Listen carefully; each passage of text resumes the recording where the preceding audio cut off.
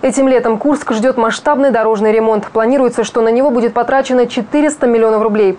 Хозяйственные и организационные вопросы в четверг обсудили депутаты городского собрания.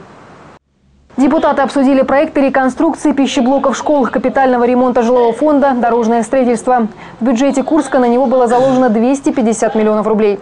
После многочисленных обращений граждан расходы увеличили за счет дополнительных средств из областной казны. Мы видим, что дороги в неудовлетворительном состоянии, э, плюс нагрузка очень большая на дороги, поэтому сегодня мы принимаем решение пролонгировать кредит и э, на следующий год, а средства эти снять 150 миллионов на ремонт, строительство, реконструкцию дорог в городе Курске. Новые трех- и четырехполосные дороги построят на участках от улицы Фестивальной до магазина «Метро», от областного ГИБДД до поселка Северный, к которому будет пущен троллейбус. Также обновится асфальт на привокзальной площади и улицах Верхней Луговой, Суворовской, Силикатной и других.